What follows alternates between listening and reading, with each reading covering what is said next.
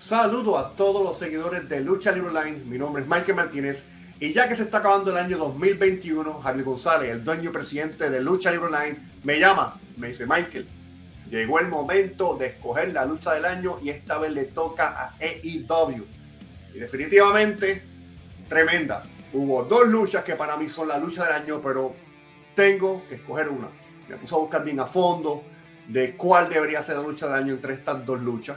Y llegué a la conclusión, y te voy a explicar por qué, de que la lucha del año fue de American Dragon Brand Danielson contra Kenny Omega en AEW Grand Slam en Nueva York. Y el público estaba de pie en los 30 minutos.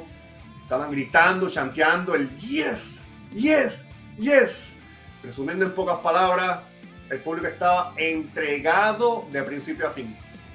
Y no es para menos. Es la primera lucha de Brian Danielson en AEW Imagínate esa euforia, ver uno de tus luchadores favoritos que hace unos años atrás estaba eh, lesionado, tenía unas conclusiones, unas concussions que los doctores no le daban la verde para volver a luchar.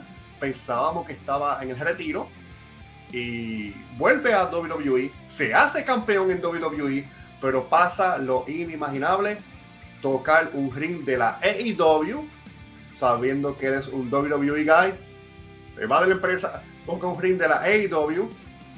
Y muchísimo menos nos imaginábamos verlo luchando contra Kenny Omega. De verdad que wow, wow, wow, wow. Qué tremendísimo luchón.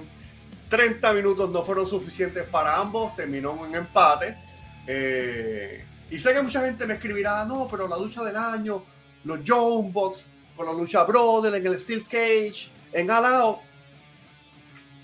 como dije, me puse a buscar bien a fondo de cuál debería ser la lucha del año y cada detalle, me di cuenta de cada detalle. Y en AEW eh, All Out, la lucha del Steel Cage, hubo muchísimas movidas, hubo muchísima acrobacia. Una lucha cinco estrellas definitivamente lo es. Pero hubo una cosa que no fue buena, es que no hubo psicología. Literalmente hubo cero psicología. Y al contrario de la lucha de Brian contra Omega, los Young Bucks y los Lucha Brothers hicieron varios bots. Hubo varios errores en esa lucha. Y definitivamente por eso escojo la lucha de Brian Danielson contra Kenny Omega en AEW Grand Slam.